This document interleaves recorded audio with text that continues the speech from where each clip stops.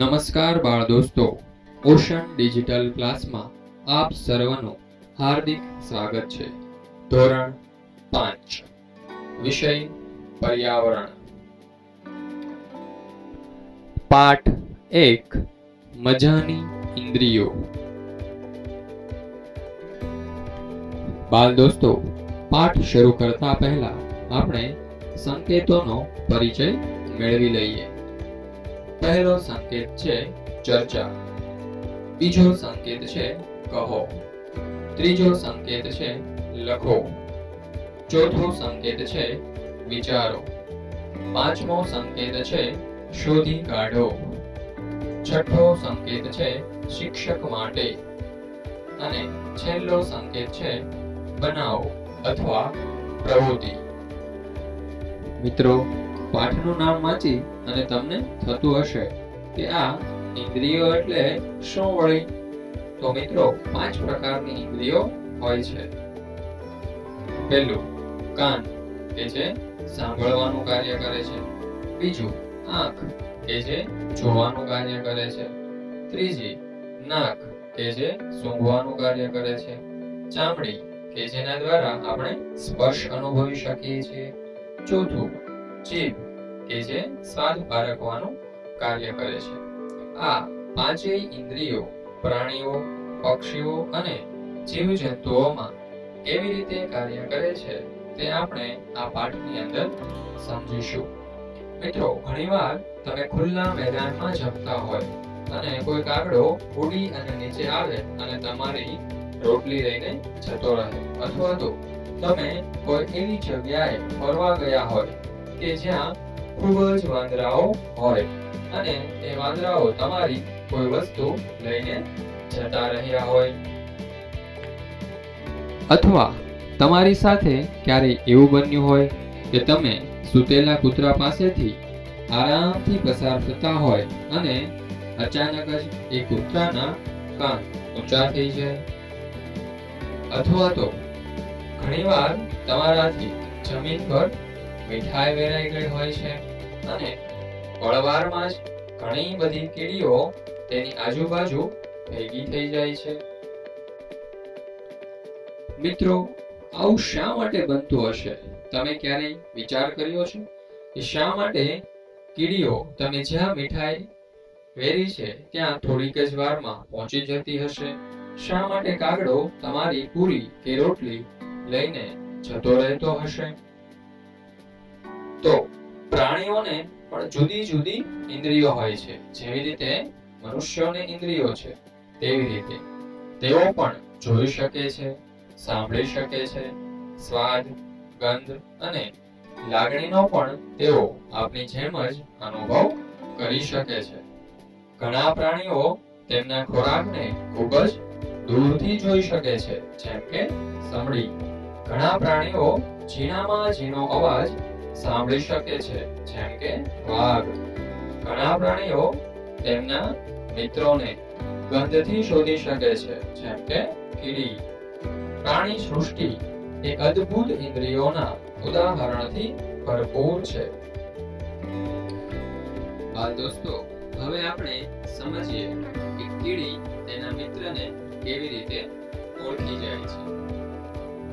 મિત્રો, કીડીઓ હંમેશા જૂથમાં રહેતી હોય છે.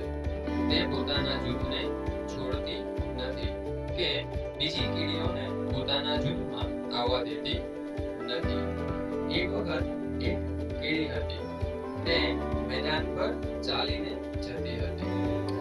તેણે બીજી તરફથી કેટલીક કીડીઓનું એક જૂથ આવતું જોયું.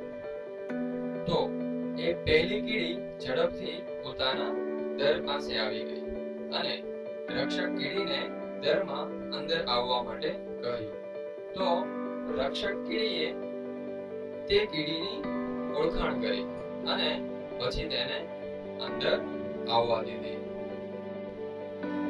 મિત્રો, તો તમને એક પ્રશ્ન થવો જોઈએ કે કીડીએ કેવી રીતે જાણ્યું કે બીજી કીડીઓ તેમના જૂથની ન હતી? તો કીડી ગંધ દ્વારા જાણી શકે કે બીજી કીડી તેમના જૂથની છે કે નથી. એટલે કે મિત્રો, કીડીઓ ગંધ દ્વારા એ જાણી શકે છે કે કોઈ પણ કીડી પોતાના જૂથની છે કે બીજા જૂથની.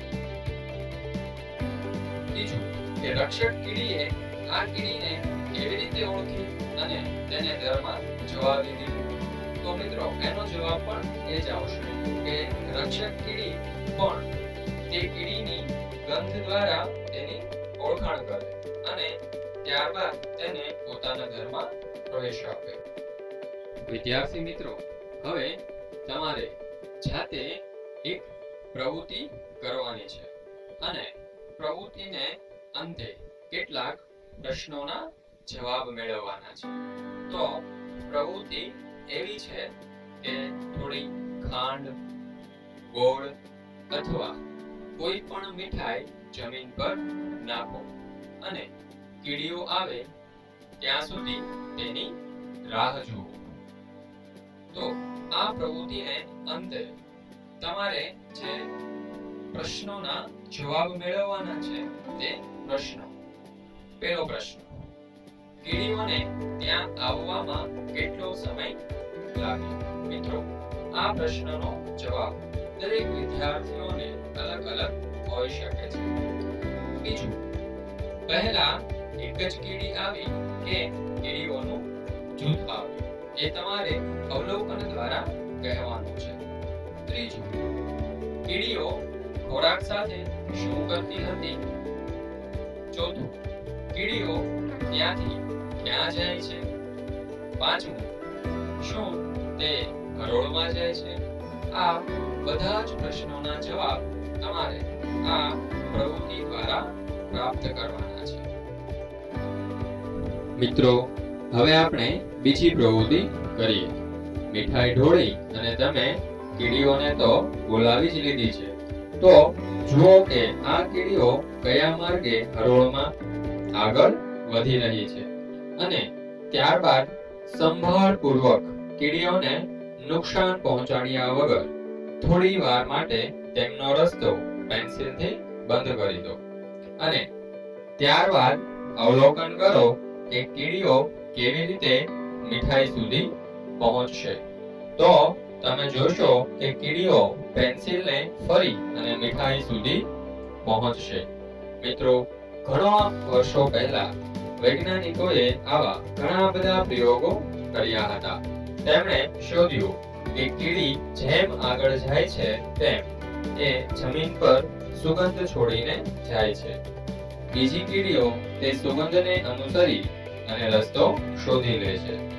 હવે તમે એ પણ અંદાજ લગાવી શકો કે જ્યારે તમે રસ્તો બંધ કર્યો, ત્યારે કીડીઓ કેમ પેન્સિલને ફરી અને મીઠાઈ સુધી આગળ પહોંચી? કેટલાક નર કીડા તેમની માદા જાતિને સુગંધથી ઓળખી લેતા હોય છે. મિત્રો, તમને મચ્છરથી ક્યારેય મુશ્કેલી પડી છે? જરા વિચારો કે મચ્છરને કેવી રીતે ખબર પડી જતી હશે કે તમે ક્યાં છો? મચ્છરો તમને તમારા શરીરની સુગંધથી શોધી લેતા હોય છે. તેઓ તમને તમારા પગની પાણીની સુગંધથી અને શરીરના તાપમાન પરથી શોધી લે છે. તમે કૂતરાને જ્યાં ત્યાં સૂંઘતું તો જોયું જ હશે. તમે શું વિચારો છો કે તે સૂંઘવાનો પ્રયત્ન કરે છે? કૂતરા તેમનો વિસ્તાર પોતાની જાતે જ બનાવે છે. એટલે કે તમારી શેરીમાં, મહોલ્લામાં જોવા મળતા દરેક કૂતરાઓનો એક ચોક્કસ વિસ્તાર હોય છે. તેઓના વિસ્તારમાં બીજા કોઈ કૂતરા આવે તો તેના પેશાબ અને મળની ગંધથી તે જાણી શકે કે મારા વિસ્તારમાં કોઈ બીજું કૂતરું આવ્યું છે કે નહીં. તમને તમારી સુગંધની ઇન્દ્રિય ક્યાં મદદરૂપ બને છે તે થોડા ઉદાહરણ સાથે લખવો જોઈએ. તો મિત્રો સુગંધની ઇન્દ્રિય આપણને રાંધણ ગેસના સિલિન્ડરમાંથી આવતી દુર્ગંધને ઓળખવા માટે. ઘણીવાર મિત્રો, જ્યારે રસોડામાં ગેસ ચાલુ રહી ગયો હોય, ત્યારે એ ગેસની દુર્ગંધ આખા ઘરમાં આવતી હોય છે. ત્યારે આપણે આપણી સુગંધની ઇન્દ્રિય દ્વારા જાણી શકીએ કે ગેસ શરૂ રહી ગયો છે. ઘણીવાર તમે કપડા કે વાયરને સળગતા હોય તેવી દુર્ગંધ પણ અનુભવી હશે. તો આ દુર્ગંધને ઓળખવા માટે આ સુગંધની ઇન્દ્રિયો આપણને કામમાં આવે છે. એવા પ્રાણીઓના નામ આપો જેને જોયા વગર તેની સુગંધથી તમે ઓળખી શકો. તો મિત્રો, ઘણા એવા પ્રાણીઓ હોય છે કે જેને આપણે જોઈએ નહીં, છતાં પણ તેનામાંથી આવતી સુગંધ અથવા તો દુર્ગંધ દ્વારા આપણે તેને ઓળખી જતા હોઈએ છીએ. જેમ કે ઘોડો, ભેંસ, બિલાડી, બકરી અને ગાય જેવા પ્રાણીઓને આપણે સુગંધથી ઓળખી જઈએ. સવાલ ત્રણ. મનુષ્ય કૂતરાની આ સૂંઘવાની આવડતનો કઈ ખાસ રીતે ઉપયોગ કરતા હોય છે? મિત્રો, તમે ફિલ્મોમાં અથવા ટેલિવિઝનમાં જોયું હશે કે ઘણા પોલીસ પાસે કૂતરાઓ હોય છે. તો કૂતરાઓને ખાસ તાલીમ આપી અને તેમને પોલીસ ફોર્સમાં જોઈન્ટ કરવામાં આવે છે. જેના દ્વારા કૂતરાઓ ગુનેગારને પકડવામાં મદદરૂપ થતા હોય છે. શું તમારા કુટુંબના કોઈ સભ્યના કપડામાંથી સુગંધ આવે છે? મિત્રો, જ્યારે કપડા કબાટમાં ઇસ્ત્રી કરીને મૂકેલા હોય, ત્યારબાદ તેને બહાર કાઢવામાં આવે તો તેમાંથી ઘણીવાર સુગંધ આવતી હોય છે. તમે મેળો, બસ, ટ્રેન વગેરે જેવી ભીડભાડ વાળી જગ્યાએ કોઈ દુર્ગંધ અનુભવી છે? હા, તો આવું કેમ થતું હશે? જો, આજે નીરુને કોઈ મહત્વના કામથી બહાર જવું પડ્યું. તેણે તેના છ મહિનાના દીકરા ઋષિને તેની બહેન છાયા પાસે મૂકવો પડ્યો. છાયાને પણ આટલી જ ઉંમરનું બાળક છે. રમૂજ લાગશે કે બંને બાળકોને એક સાથે મળ આવે છે. તેણે ખુશીથી તેની દીકરીને સાફ કરી દીધી. પરંતુ જ્યારે તે તેની બહેનના દીકરા રુચિતને સાફ કરતી હતી, ત્યારે તેણે પોતાનું મોં દુપટ્ટાથી ઢાંકી લીધું વિચારો અને ચર્ચા કરો. પહેલું, છાયા જ્યારે રુચિતનું બાળોતિયું સાફ કરતી હતી, ત્યારે તેણે મોં ઢાંકી દીધું. પણ પોતાની દીકરીનું બાળોતિયું સાફ કરતી વખતે આમ ન કર્યું. તમારા મતે તેણે આવું કેમ કર્યું હશે? ચાલો બાળ મિત્રો, આપણે તેના વિશે ચર્ચા કરીએ. કોઈ પણ સુગંધ ગમવી કે ના ગમવી તેનો આધાર આપણા ગમા, અણગમા, રસ અને રુચિ પર પણ આધાર રાખે છે. કોઈ એક પ્રકારની સુગંધ એક વ્યક્તિને બહુ જ ગમે તો બીજી વ્યક્તિને તે બિલકુલ ન પણ ગમી શકે. તમે કચરાના ઢગલા પાસેથી પસાર થાઓ તો કેવો અનુભવ થાય છે? જે વ્યક્તિનો પોતાનો આખો દિવસ આવા ઢગલામાંથી વસ્તુઓ ઉપાડવામાં વિતાવતા હોય તેમના વિશે વિચારો. મિત્રો, આપણે જ્યારે કચરાના ઢગલા પાસેથી પસાર થઈએ, ત્યારે આપણે આપનું મોં અને નાક ઢાંકી દઈએ છીએ અને ફટાફટ ત્યાંથી દૂર જતા રહીએ છીએ. મિત્રો, તમે વર્ગખંડમાં અભ્યાસ કરી રહ્યા હોય અને કોઈ વિદ્યાર્થી સ્પ્રે લગાવી અને ક્લાસમાં દાખલ થાય, તો તરત જ તમને એ સ્પ્રેની સુગંધ અનુભવાશે. પરંતુ થોડા સમય પછી તમને એ સુગંધનો અનુભવ ઓછો થઈ જશે અથવા તો નહીં થાય. પરંતુ બહારથી આવનાર બીજી કોઈ વ્યક્તિને તે સુગંધનો અનુભવ જરૂરથી થશે. એવી જ રીતે આખો દિવસ કચરાના ઢગલામાં રહેનાર વ્યક્તિને કદાચ એ દુર્ગંધનો અનુભવ નહીં થતો હોય. શું સારી અને ખરાબ દુર્ગંધ દરેક માટે સમાન જ હોય છે? શું તે સુગંધ દરેક તેને કેવી રીતે અનુભવે છે તેના પર આધાર રાખે છે? ના મિત્રો સારી અને ખરાબ દુર્ગંધ દરેક માટે સમાન હોતી નથી. સુગંધને આપણે કેવી રીતે અનુભવીએ છીએ તેના પર આધાર રાખે છે. જેમ કે, કાંદા લસણના વઘારમાંથી આવતી સુગંધ દ્વારા કાંદા લસણ ખાનાર વ્યક્તિને મોંમાં પાણી આવી શકે.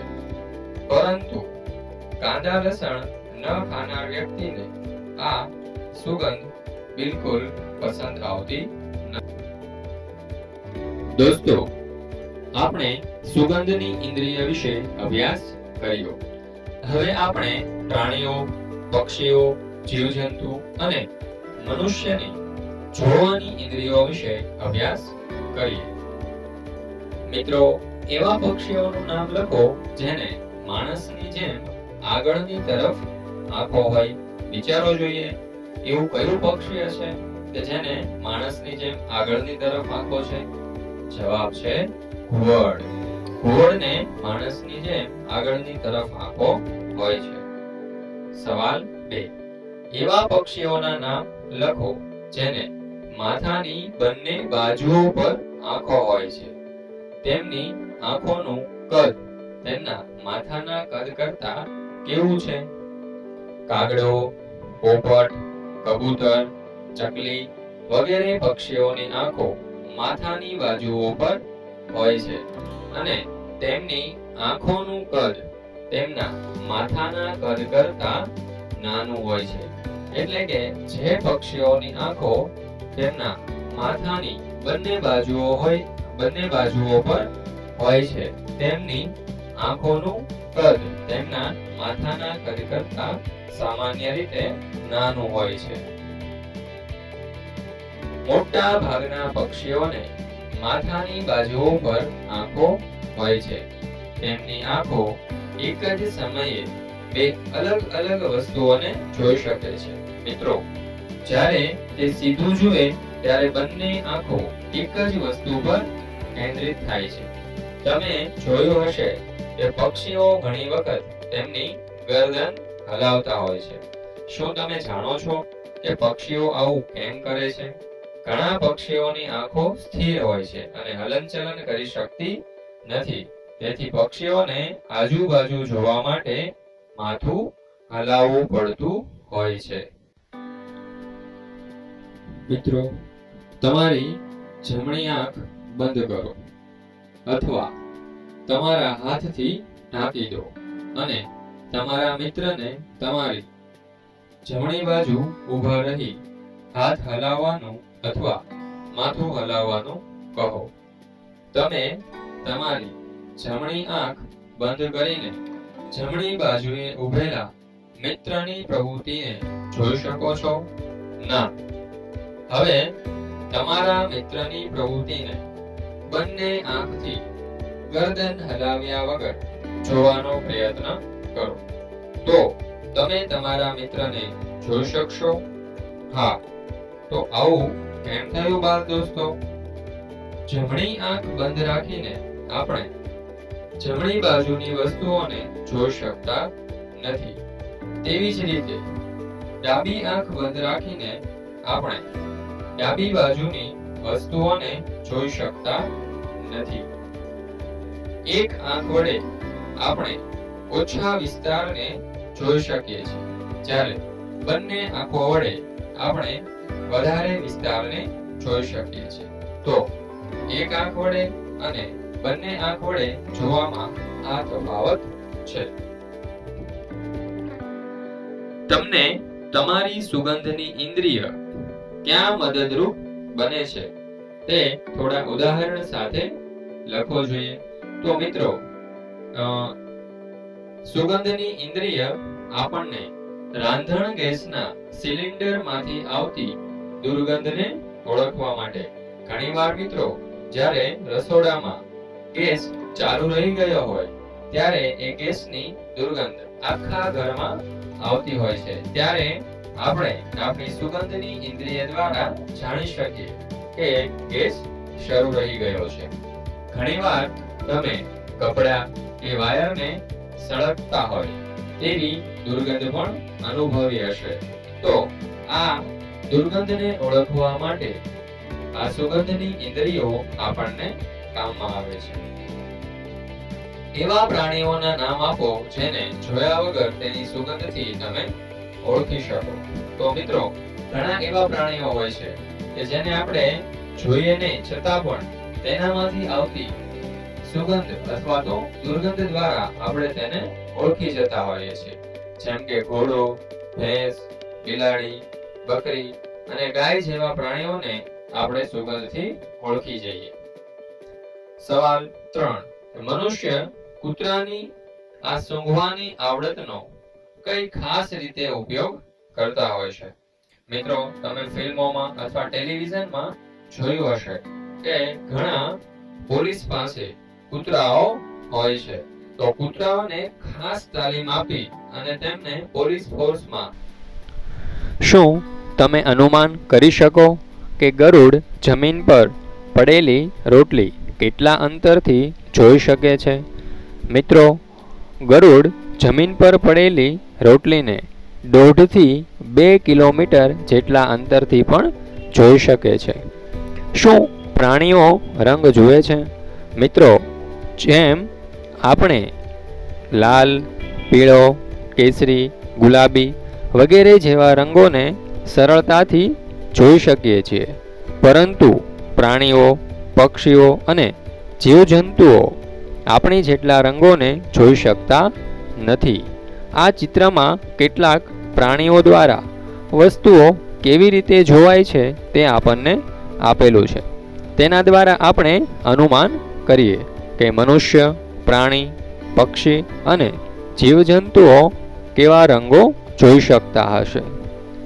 જો પ્રથમ ચિત્ર આપણને મનુષ્યનું આપેલું છે, તો મનુષ્ય લગભગ બધા જ રંગોને સરળતાથી જોઈ શકે છે. ત્યારબાદ પક્ષીઓ. પક્ષીઓ મનુષ્ય કરતાં સહેજ ઓછા રંગો જોઈ શકતા હોય તેવું આપણે અનુમાન લગાવી શકીએ. ત્યારબાદ પ્રાણીઓ. પ્રાણીઓ અમુક રંગો જોઈ શકતા હશે. જ્યારે અમુક રંગો નહીં જોઈ શકતા હોય, તેવું આ ફોટો પરથી આપણે અનુમાન લગાવી શકીએ. ત્યાર પછી જીવજંતુઓ, જે ફક્ત અમુક જ રંગો, એટલે કે ખૂબ જ ઓછા રંગો જોઈ શકતા હશે. મિત્રો, એવું માનવામાં આવે છે કે જે પ્રાણી દિવસ દરમિયાન જાગતા હોય તે થોડા રંગો જોઈ શકે છે.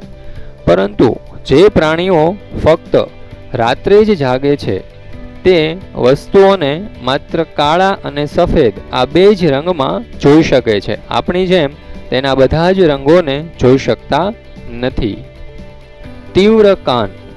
ધોરણ ચારમાં આપણે ભણી ગયા કે પક્ષીઓના કાન સરળતાથી જોઈ શકાતા નથી. પ્રાણીઓના કાન આપણે સરળતાથી જોઈ શકીએ છીએ.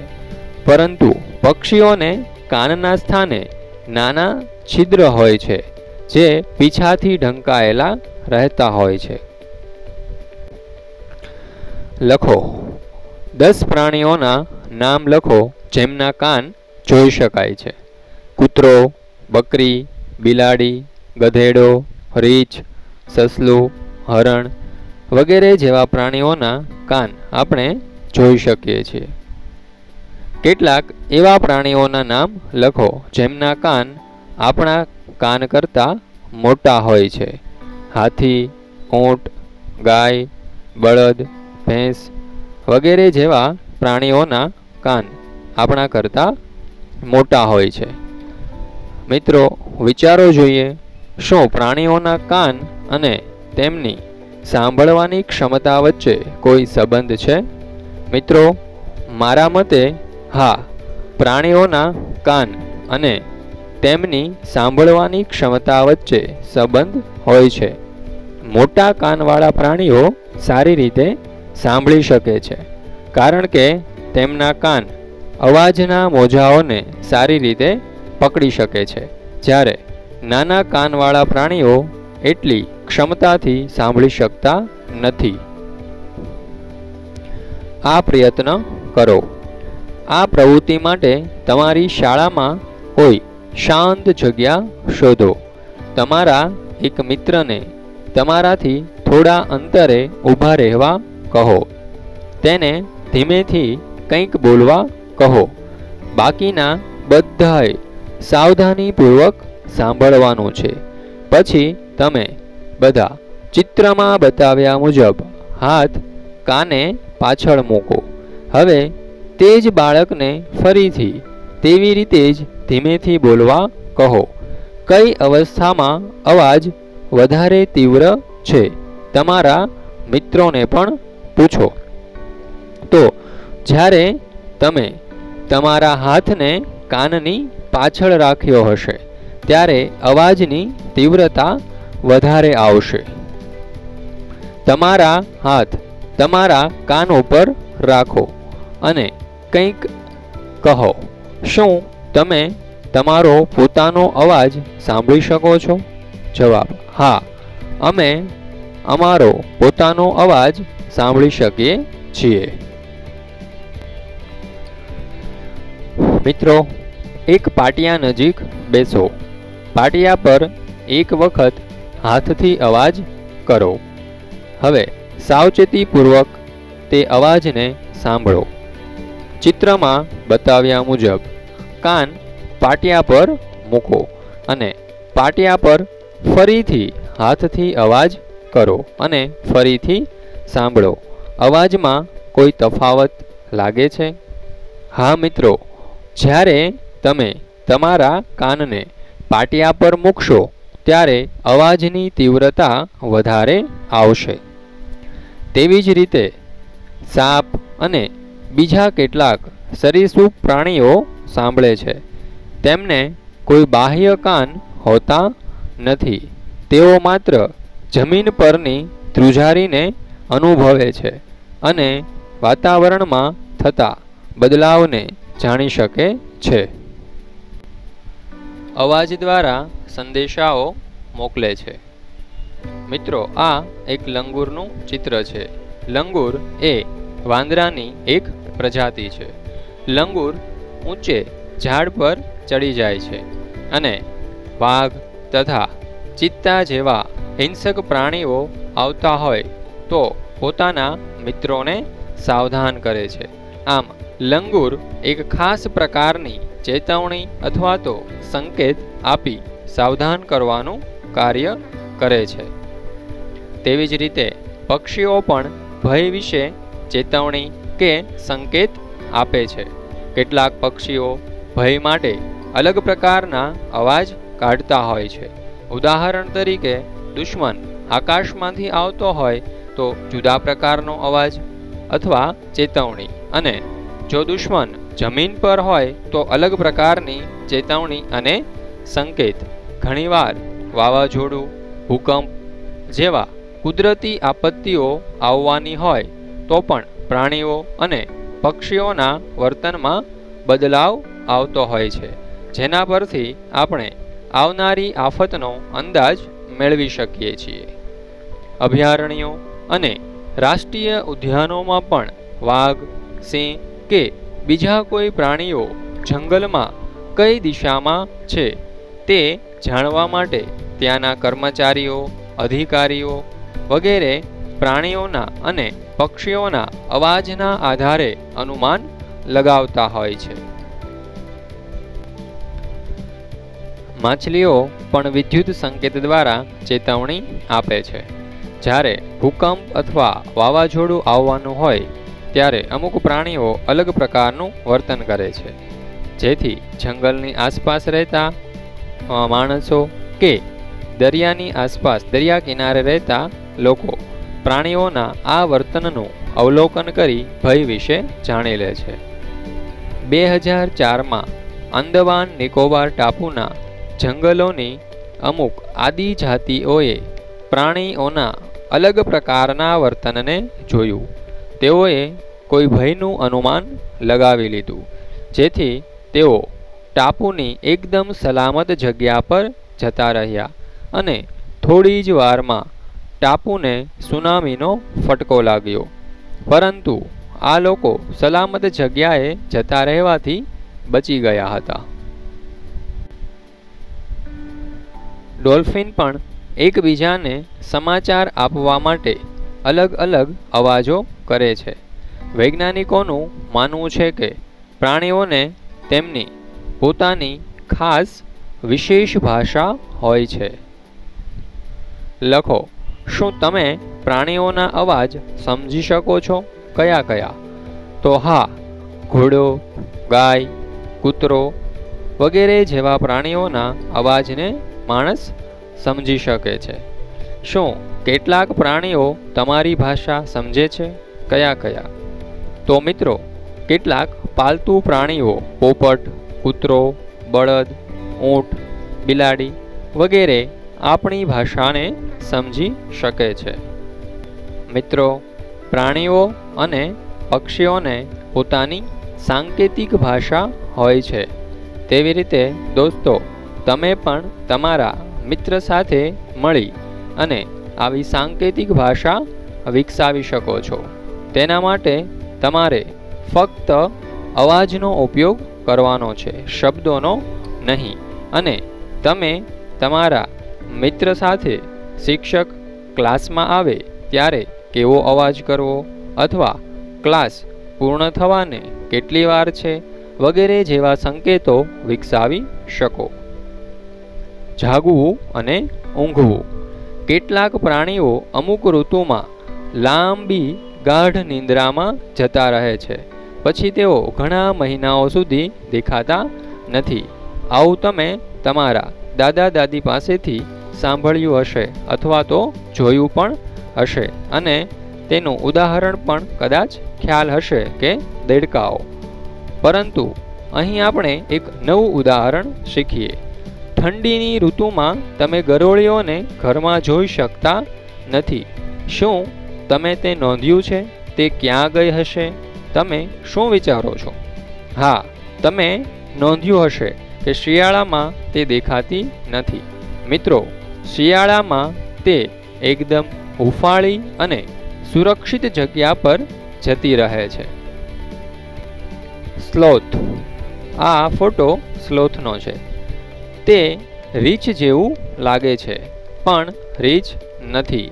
તે સ્લોથ છે. તે દિવસના આશરે અઢાર કલાક વૃક્ષની ડાળી પર ઊંધા લટકી ઊંઘવામાં વિતાવે છે. સ્લોથ જે વૃક્ષ પર રહે છે, તેના પર્ણો ખાય છે. તેને ક્યારેક જ બીજું કંઈ જોઈએ છે. જ્યારે તે એક વૃક્ષ પરથી પૂરતા પર્ણો ખાઈ લે છે, તે નજીકના વૃક્ષ પર જતું રહે છે. સ્લોથ લગભગ ચાલીસ વર્ષનું જીવન જીવે છે અને આ સમય દરમિયાન તે ફક્ત આઠ જેટલા વૃક્ષો પર જ જાય છે. અઠવાડિયામાં એક વખત તે પોતાની જાતને હળવું કરવા વૃક્ષની નીચે ઉતરે છે. મિત્રો, અહીં એક ચાર્ટ આપવામાં આવેલો છે, જેમાં બે અલગ અલગ પ્રાણીઓના જાગવાના અને સૂવાના ટાઈમ વિશે માહિતી આપેલી છે. પહેલો ચાર્ટ સ્લોથનો છે. તેમાં આપણે જોઈ શકીએ કે સ્લોથ રોજના અઢાર કલાક જેટલું સૂવે છે અને છ કલાક જેટલું જાગે છે. તેવી જ રીતે બાજુમાં ગરોળીના, સૂવાના અને જાગવાના સમય વિશે માહિતી આપેલી છે. સામાન્ય રીતે ઘરમાં જોવા મળતી ગરોળી શિયાળામાં ચારથી છ કલાક જેટલું જાગે છે, જ્યારે અઢાર કલાક જેટલો સમય સૂવામાં પસાર કરે છે. અહીં કેટલાક પ્રાણીઓના ઊંઘવાના સમય આપ્યા છે. નીચે આપેલા દરેક ચિત્રની નીચે તે દિવસમાં કેટલા કલાક ઊંઘે છે તે લખો. સૌપ્રથમ ગાય. તો ગાય દિવસમાં ચાર કલાક જેટલું સૂવે છે. ત્યારબાદ અજગર. અજગર દિવસમાં અઢાર કલાક સૂવે છે. જીરાફ. જીરાફ દિવસમાં ખૂબ જ ઓછું બે કલાક જેટલું સૂવે છે. તેવી જ રીતે બિલાડી. દિવસમાં બાર કલાકની ઊંઘ લે છે. જ્યારે તમે અલગ અલગ પ્રાણીઓ જુઓ છો, તમારા મનમાં તેમના વિશે પ્રશ્નો જાગે છે. આવા દસ પ્રશ્નોની યાદી બનાવો. પહેલો, હાથીના કાન મોટા કેમ છે? બીજું, અજગર કેમ સૌથી વધારે સૂવે છે? બાકીના પ્રશ્નો તમારે જાતે બનાવવાના રહેશે. વાઘ રાત્રે આપણા બધા કરતા છ ગણા સારી રીતે જોઈ શકે છે. એટલે કે તેની જોવાની ઇન્દ્રિય રાત્રે આપણા કરતાં વધારે સતેજ હોય છે. એટલા માટે ઘણી વખત તમે રાત્રે પ્રાણીઓની આંખો ચમકતી જોઈ હશે. વાઘની મૂછો ખૂબ જ સંવેદનશીલ હોય છે અને તે હવામાં હલનચલન અને ધ્રુજારી અનુભવી શકે છે. તે વાઘને અંધારામાં આગળ વધવામાં અને તેના ખોરાકની શોધ કરવામાં પણ મદદ કરે છે. વાઘની સાંભળવાની ઇન્દ્રિય એટલી તીવ્ર છે કે તે પાંદડાના ખખડાટનો અવાજ અને ઘાસ વચ્ચે પ્રાણીના હલનચલનનો અવાજ અલગ કરી શકે છે. જેથી તે પોતાના શિકાર વિશે એકદમ સચોટ માહિતી મેળવી શકે. વાઘના કાન અલગ અલગ દિશામાં ફરી શકે છે અને તે ચારેય બાજુએથી અવાજ સાંભળવા માટે સક્ષમ છે. વાઘ અલગ અલગ કાર્યો માટે અલગ અલગ અવાજ કરી શકે છે.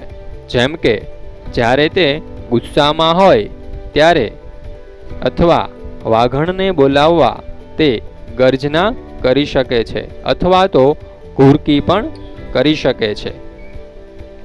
તેની ગર્જનાનો અવાજ લગભગ ત્રણ કિલોમીટર દૂર સુધી સંભળાય છે. દરેક વાઘનો પોતાનો કેટલાક કિલોમીટર સુધીનો વિસ્તાર હોય છે. વાઘ તેના વિસ્તારને તેના પેશાબથી નિશાની બનાવી અલગ પાડે છે. એક વાઘ પોતાના વિસ્તારમાં બીજા વાઘની હાજરી તે વાઘના પેશાબની ગંધથી પારખી શકે છે. એટલે કે, મિત્રો, વાઘને ખ્યાલ આવી જાય છે કે બીજો કોઈ વાઘ પોતાના વિસ્તારમાં દાખલ થયો છે. એક વાઘ બીજા કોઈ વાઘના વિસ્તારમાં જવાનું સામાન્ય રીતે ટાળતા હોય છે. વાઘ સૌથી સાવધ પ્રાણી છે અને છતાં પણ આજે વાઘનું અસ્તિત્વ જોખમમાં છે.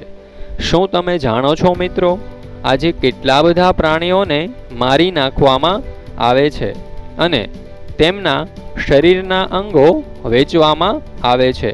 જેમ કે હાથીને તેના દાંત માટે. હાથીના દાંતમાંથી અલગ અલગ પ્રકારની સુશોભન કરવાની વસ્તુઓ બનાવવામાં આવે છે અને હજારો રૂપિયામાં તેનો એક દાંત વેચાય છે. ગેંડાને તેના શિંગડા માટે, વાઘ, મગર અને સાપને તેની ચામડી માટે, કસ્તુરી મૃગને તેનામાં રહેલી કસ્તુરી માટે. કસ્તુરી એક હરણની નાભીમાંથી મળતો એક પદાર્થ છે, જે ખૂબ જ સુગંધિત હોય છે. અને તેમાંથી અત્તર તેમજ સ્પ્રે બનાવવામાં આવે છે. જે માણસો પ્રાણીનો શિકાર કરે છે, તેઓને શિકારી કહેવામાં આવે છે. વાઘ અને સિંહ જેવા બીજા કેટલાક પ્રાણીઓની સંખ્યા આપણા દેશમાં ઘટી રહી છે. એવો ભય છે કે તેમાંના કેટલાક પ્રાણીઓ થોડા જ સમયમાં લુપ્ત થઈ જશે. લુપ્ત થઈ જવું એટલે કે નષ્ટ થઈ જવું. તેમની રક્ષા માટે સરકારે કેટલાક જંગલોને સુરક્ષિત વિસ્તાર તરીકે જાહેર કર્યા છે. તેમાંના કેટલાક ઉત્તરાખંડમાં જીમ કોર્બેટ નેશનલ પાર્ક અને રાજસ્થાનના ભરતપુર જિલ્લામાં ઘાના છે. ગુજરાતમાં ગીર રાષ્ટ્રીય ઉદ્યાન કાળિયાર રાષ્ટ્રીય ઉદ્યાન, દરિયાઈ રાષ્ટ્રીય ઉદ્યાન, કચ્છનો અખાત અને વાસંદા રાષ્ટ્રીય ઉદ્યાન આવેલા છે. જેમાં કોઈ પ્રાણીઓનો શિકાર કરી શકે નહીં અથવા જંગલને હાનિ પહોંચાડી શકે નહીં. જેથી જંગલમાં રહેલા પ્રાણીઓ આરામથી જીવન જીવી શકે અને પોતાનો ખોરાક પ્રાપ્ત કરી શકે. આ પાઠને ધ્યાનથી સમજવા બદલ આપનો ખૂબ ખૂબ આભાર.